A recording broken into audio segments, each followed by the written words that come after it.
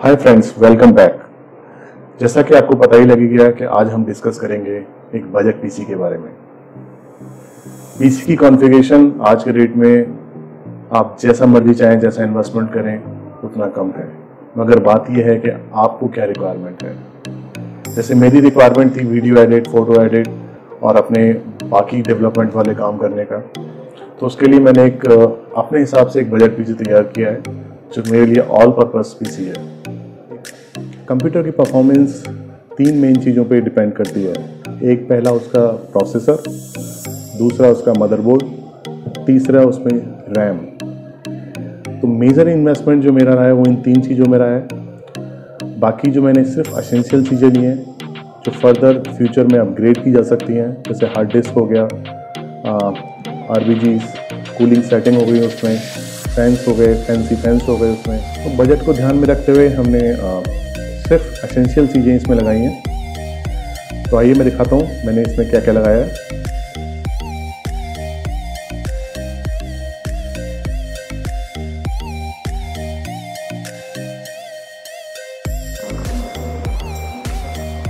तो फ्रेंड हमने यहाँ पे यूज़ किया है एनटेक की N X two hundred model cabinet जिसमें ऊपर की तरफ़ भी यूएसबी पोर्ट्स और ऑडियो पोर्ट्स लिए हुए हैं।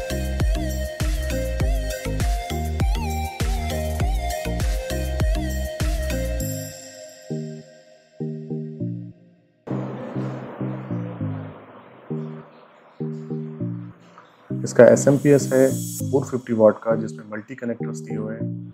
आपको कनेक्टर्स की कोई कमी नहीं होने वाली, और इसकी वारंटी है थ्री ईयर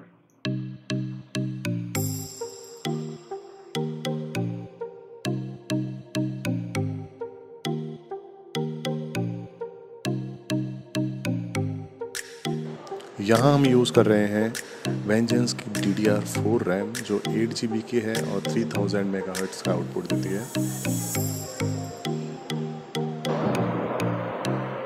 हमने यहाँ यूज़ किया एनवीडिया का two G B display card जिसका आउटपुट सिक्सटी फोर बिट है।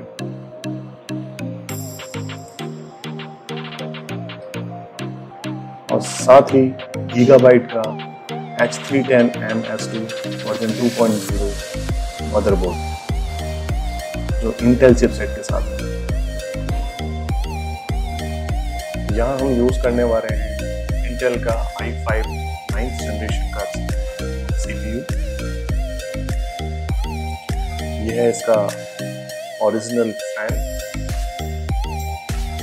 और एसएसडी हार्ड डिस्क सैमसंग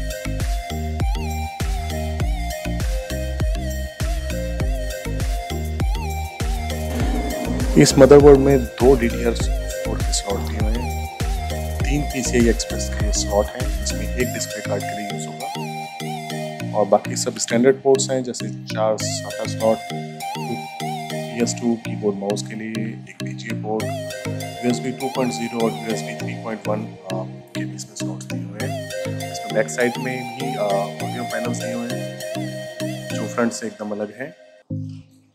और फ्रंट यूएसबी के भी इसमें पोर्ट्स हैं, जो और इस कैबिनेट में बहुत ज़्यादा जगह है। फ्यूचर अपग्रेड को ध्यान में रख के मैंने एक कैबिनेट लिया है। इसमें हम इन फ्यूचर किसी भी तरह का अपग्रेड कर सकते हैं। ये देखिए ऑन होने के बाद ये कुछ इस तरह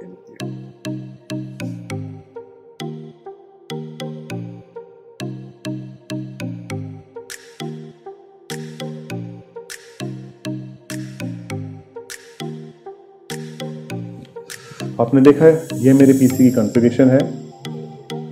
इसकी प्राइसिंग डिटेल आपको मेरे डिस्क्रिप्शन में मिल जाएगी। इसमें एक चीज़ और मैं बताना चाहूँगा। इस कंप्यूटर को बनाने के लिए आ, मैंने अपने पुराने पीसी से हार्ड डिस्क और मॉनिटर यूज़ किया है और साथ ही इसके साथ मैंने लिया है लिनक्स का 600 हंड्रेड का एक यूपीएस जो वोल्टेज फ्लक्चुएशन को रोकता है। डेस्कटॉप के लिए स्पेशली लेना चाहिए मैं रिकमेंड करूँगा। पीसी से रिलेटेड आपको कोई भी इंफॉर्मेशन चाहिए या और कोई डाउट है या कुछ और क्वेश्चंस हैं, आप नीचे कमेंट करके मुझसे पूछ सकते हैं। मैं आपके कमेंट्स पे रिप्लाई करूँगा। आप मुझे मेल भी कर सकते हैं मेरी मेल आईडी पे, जो नीचे डिस्क्रिप्शन में दी हुई है। और मुझे फॉलो कर सकते हैं मेरे इंस्टाग्राम पेज पे और मेरे फेसबुक पेज पे भी। So that's all for today thank you very much friends for watching this आपको अगर इस वीडियो में इंफॉर्मेशन पसंद आई हो तो इस चैनल को सब्सक्राइब करें वीडियो को लाइक करें और बेल नोटिफिकेशन को ज़रूर क्लिक करें सो so दैट आप मेरे आने वाले वीडियोस को मिस ना कर पाएँ। Thank you very much